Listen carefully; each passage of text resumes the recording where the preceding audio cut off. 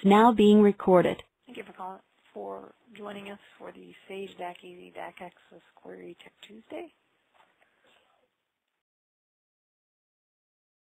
Product specialist for DAC Easy.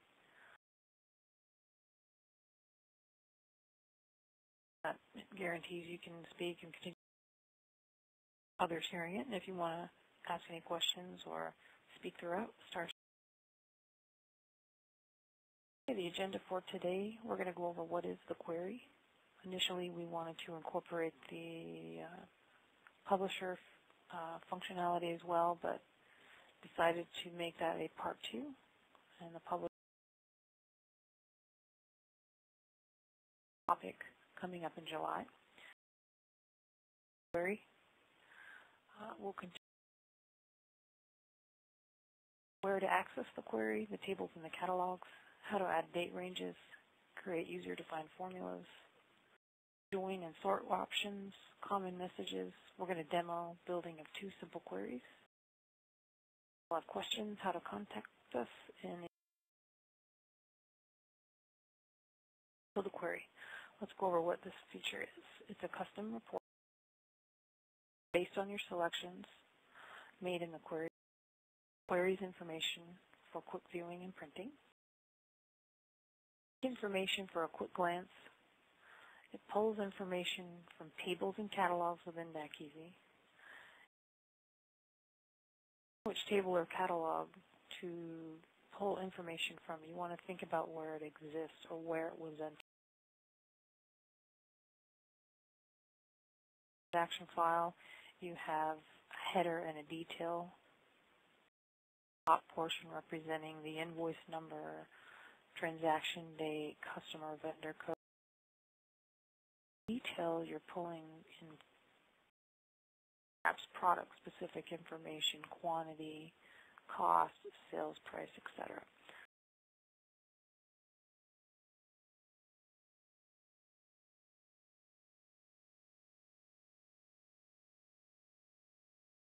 Get into the query, we access DAC access and choose query It's available in all Sage modules.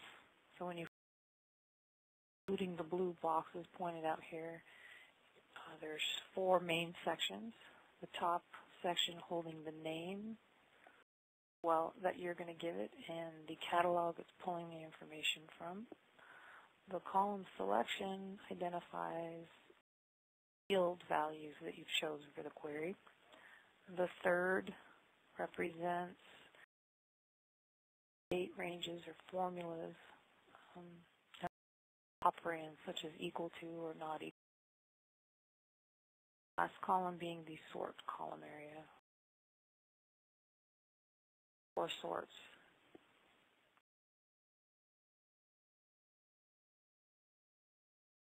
Let's touch upon catalogs. The catalogs define what tables are available for each select.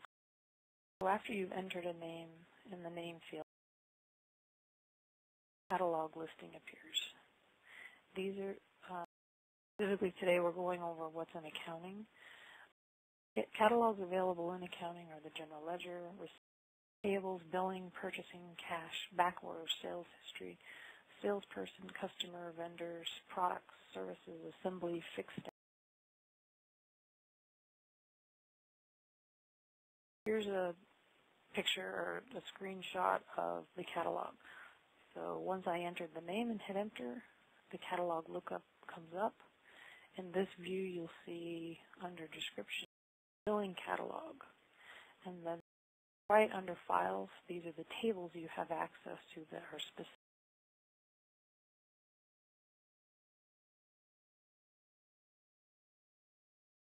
Selected the catalog, you begin by select, you then choose your table. So at the first column selection, you'll always click F5 for lookup.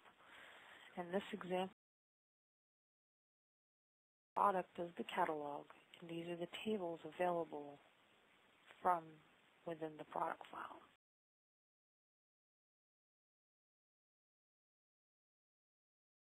Moving on to the column selection. So once this lookup shows the exact field values. And the products and this displays all the fields that are available and related to the product file.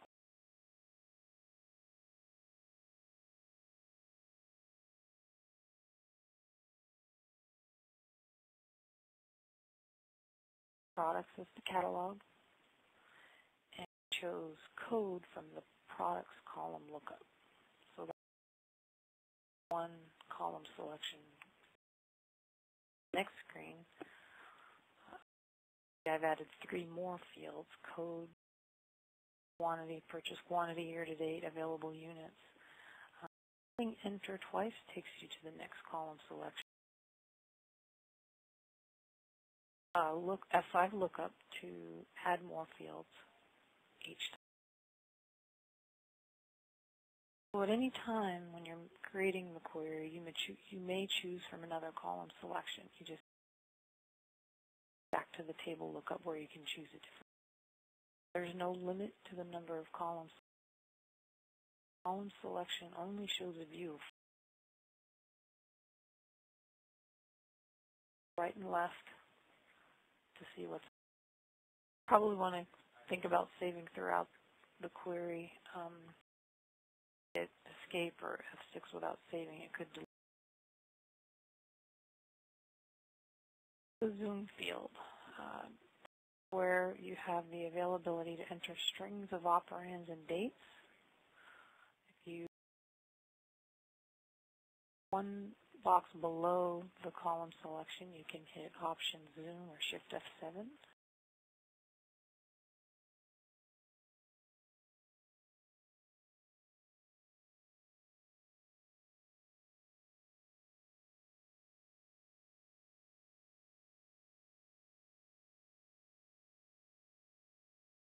Where I entered a date on the Zoom to gather transactions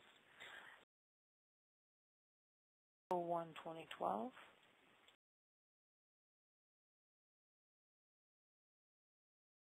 Going over user defined, user defined flexibility to create formulas using the field.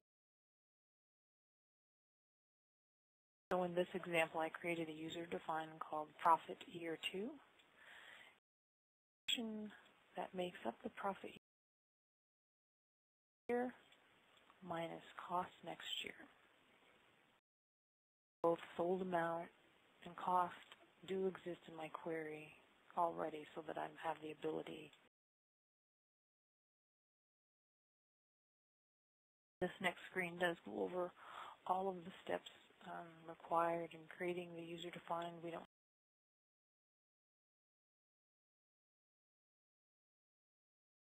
Now to view the query, use at any time, whether you have one field or F7, the result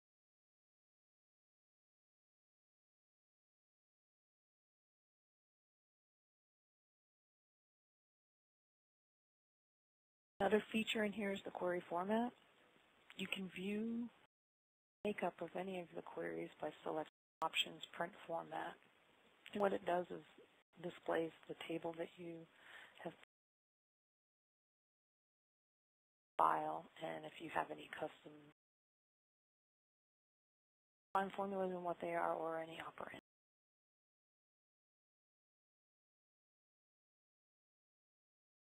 Perhaps if you run something monthly, you can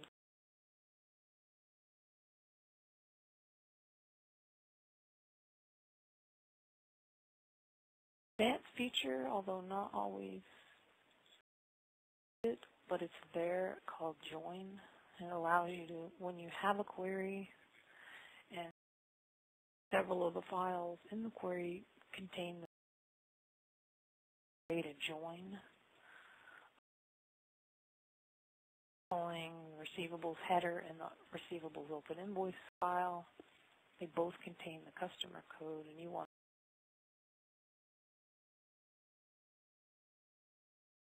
left outer and right. Give the ability to display the information or not always going to be an option and it's not always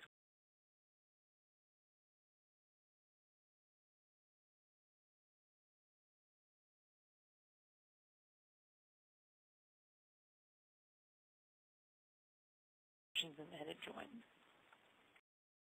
Sorting is another advanced feature um, at the bottom of the query, and again, it determines how the data. The first box is your primary sort, then you have an additional three sorts specifically in the way the Now we're going to review and build two queries give each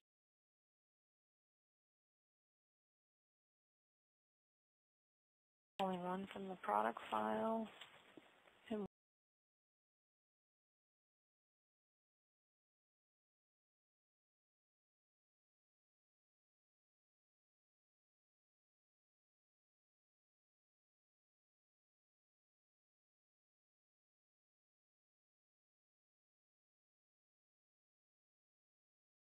blank query design. I'm going to give it a name, generic name.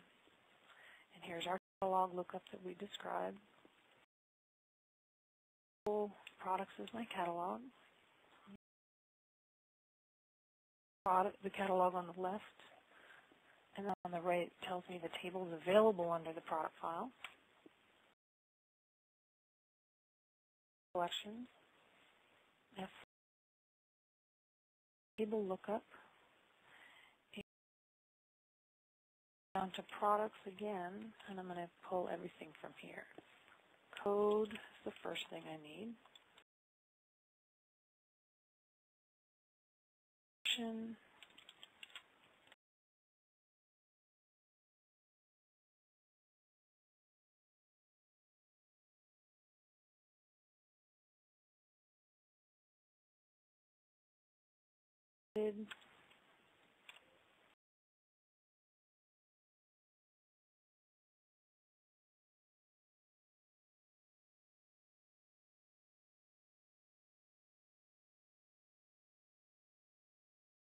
Query. We're going to select run query and it queries the information.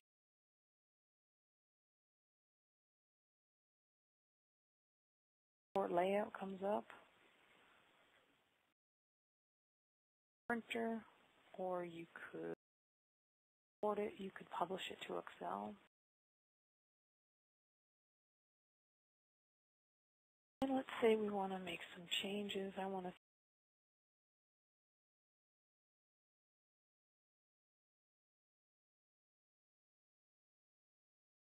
greater than greater than or equal to zero.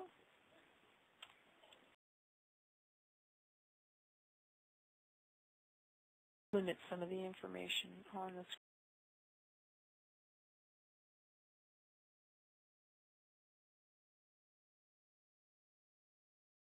Not equal to zero. There's all kinds of things you can do with the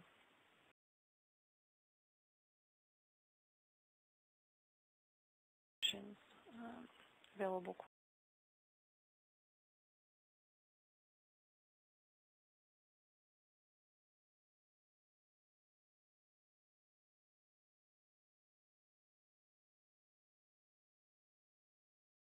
On to building a action file. In this case, we're using billing.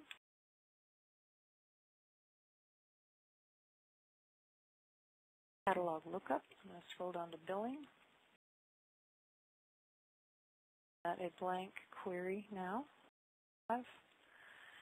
And I want to pull the information from the header, which is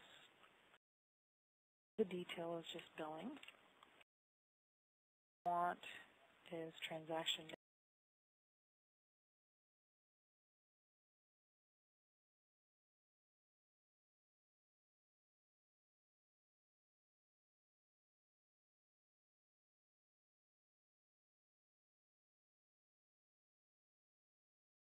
invoice number.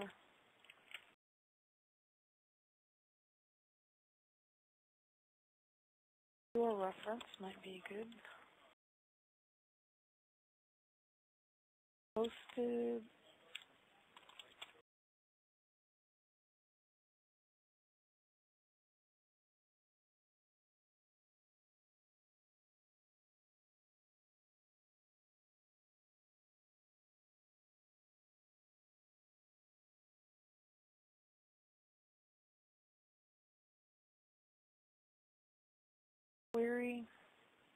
gives me a lot of information. I'm deciding I want nothing that says did. So we'll go under your reference and we'll put either hit F5 or if you know the command you can just do not equal. That should omit that information. Will equals yes only and again run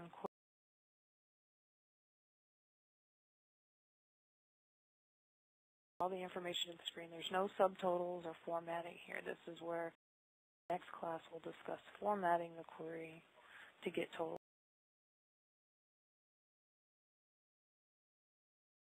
Those are our two query examples. Some common messages you might receive um, is dictionary 23, and that results in no records. Data that you're currently pulling into the query not there based on your current selection. So you want to go ahead and make sure you look at query dates. Maybe there's a date that's wrong, edited. Um, maybe something needs to be first when you're pulling from a particular file. Check and validate your operating conditions and make sure the condition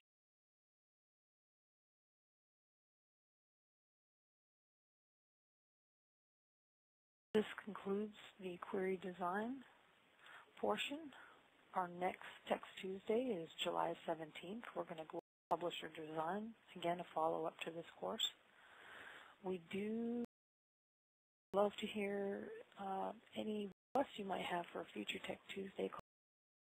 Always interested in what people want to know and using DacEasy.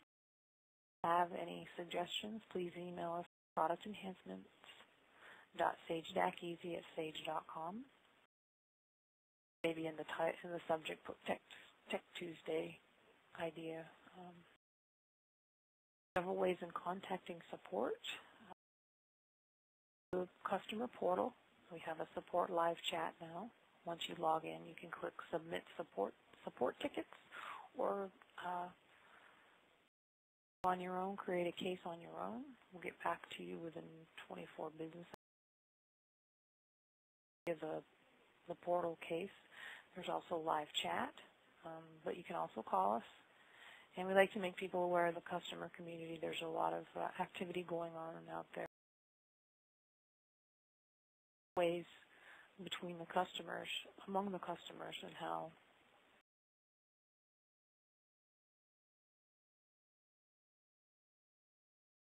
provide everybody out there. Thank you, and we look forward to seeing you July 17th.